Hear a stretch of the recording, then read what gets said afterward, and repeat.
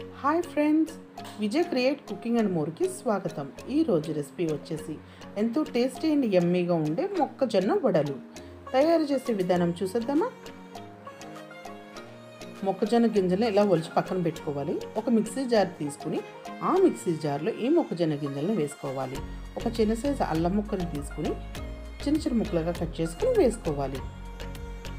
మూడు పచ్చిమిర్చి తీసుకుని చిన్నగా కట్ చేసుకుని వేసుకోవాలి. స్పైసీ తినేవాళ్ళు ఇంకాస్త మిర్చిని యాడ్ చేసుకోవచ్చు. ఒక స్పూన్ జీలకర్ర వేసుకోవాలి. ఆరు వెల్లుల్లి రెబ్బల్ని వేసుకోవాలి. మిక్సీ జార్ మూత పెట్టుకొని మెత్తని పేస్ట్ లాగా అంటే కొంచెం బరక బరకగా ఉండేలాగా పేస్ట్ చేసుకోవాలండి. కొద్దిగా అంటే కొద్దిగా వాటర్ వేసుకొని పేస్ట్ చేసుకోవాలి. ఒక గిన్నె తీసుకుని ఈ మొక్కజొన్న పేస్ట్ని వేసుకోవాలి. ఈ పేస్ట్ చేసుకునేటప్పుడు మరీ ఎక్కువ వాటర్ చేసుకుని పలుచగా చేసుకున్నామంటే ఆయిల్ పీల్ చేస్తాయండి. అందుకుని గట్టిగానే ముద్దలా ఉండాలి మనకి వడలకి. రెండు టేబుల్ స్పూన్ల శనగపిండిని యాడ్ చేసుకోవాలి. త్రీ టేబుల్ స్పూన్ వరిపిండిని యాడ్ చేసుకోవాలి. ఒక స్పూన్ సాల్ట్ని యాడ్ చేసుకోవాలి. ఒకసారి మొత్తం అంతా బాగా మిక్స్ అయ్యేలా బాగా కలుపుకోవాలి. రెండు ఉల్లిపాయలు చిన్న చిన్నగా ముక్కలుగా కట్ చేసుకుని వేసుకోవాలి.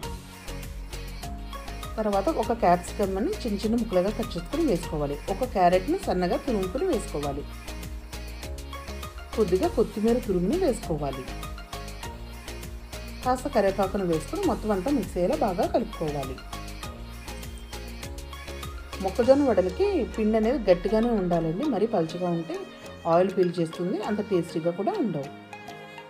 మొత్తం అంతా మిక్స్ చేసుకున్న తర్వాత ప్యాన్ పెట్టుకుని డీప్ ఫ్రై సరిపడా ఆయిల్ పెట్టుకుని ఆయిల్ వేడెక్కిన తర్వాత మనం మొక్కజొన్న వడలని ఈ విధంగా నేను చూపించే విధంగా ఒక పాలిథిన్ కవర్ తీసుకుని దాంట్లోకి ఈ విధంగా ప్రెస్ చేసి వడల మాదిరిగా వేసుకోవాలి.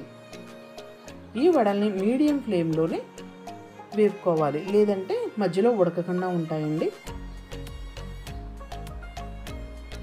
ప్యాన్కి సరిపడా వడలను అనేది వేసుకోవాలి. చూసారా? వడల పిండి ఇంత గట్టిగా ఉంటేనే వడలు బాగా వస్తాయి.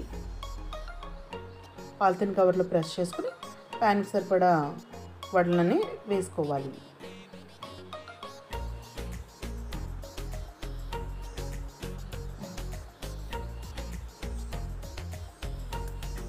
ఒక సైడ్ వేగిన తర్వాత ఇంకో సైడ్కి టర్న్ చేసుకోవాలి.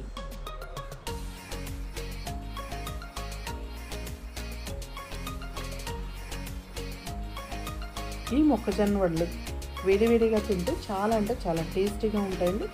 ఏ చట్నీ సాసులు కూడా అవసరం లేకుండా ఈ వడలను అనేది తినేస్తారు పిల్లల దగ్గర నుంచి పెద్దవాళ్ళ వరకు. వేగిపోయినాయి అన్నీ తీసేసుకోవాలండి ఒక స్ట్రైనర్లోకి పెద్దగా ఆయిల్ కూడా పీల్చివ్వండి ఈ మొక్కజొన్న వడలు. అంతే ఎంతో టేస్టీ అండ్ యమ్మీగా ఉండే మొక్కజొన్న వడలు రెడీ. మీకు కనుక ఈ వీడియో నచ్చితే లైక్ చేయండి షేర్ చేయండి కామెంట్ చేయండి. Please subscribe. Thanks for watching.